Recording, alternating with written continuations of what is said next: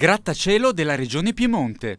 L'assessore al patrimonio Andrea Tronzano ha riferito in prima commissione che il rapporto costi-benefici del Palazzo Unico della Regione è positivo. Secondo i calcoli degli uffici regionali, la differenza tra i costi complessivi del nuovo edificio e i risparmi provenienti dai canoni di locazione e di gestione degli edifici in affitto, insieme ai proventi delle alienazioni degli edifici di proprietà liberati, porterebbe un utile di 113 milioni e mezzo di euro sui 20 anni, 5 milioni 670 mila se si considera il dato annuale. Secondo l'assessore, il piano bonifiche nell'area della nuova costruzione, partito da uno scenario definito catastrofico, si sta attuando con ottimi risultati. I limiti degli inquinanti sono già sotto la soglia fissata dalla legge. Finora per le bonifiche sono stati spesi 16 milioni di euro, 4 in più di quanto messo a bilancio. Tra gli interventi dell'opposizione, il consigliere Giorgio Bertola del Movimento 5 Stelle ha espresso qualche dubbio sui dati relativi ai costi. È stata presentata un'analisi costi-benefici che però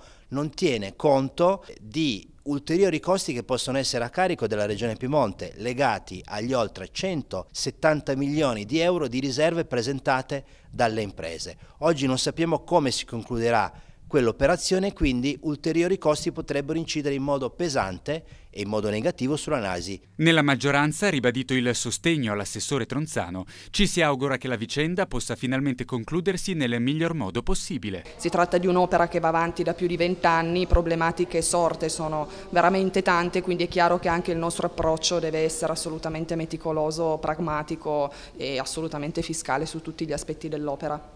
L'assessore Tronzano ha anche confermato che l'edificio di Piazza Castello rientra ancora nel piano, anche se sulla sua vendita è in corso una riflessione. Rispondendo poi a una sollecitazione del presidente della prima commissione Carlo Riva Vercellotti, l'assessore ha comunicato che sono stati finora impegnati 64 milioni dei 65,7 messi a disposizione per il 2019 dal governo attraverso la legge di stabilità in investimenti in settori come il dissesto idrogeologico, la sanità, i trasporti, il sostegno alle imprese, la ricerca e l'innovazione.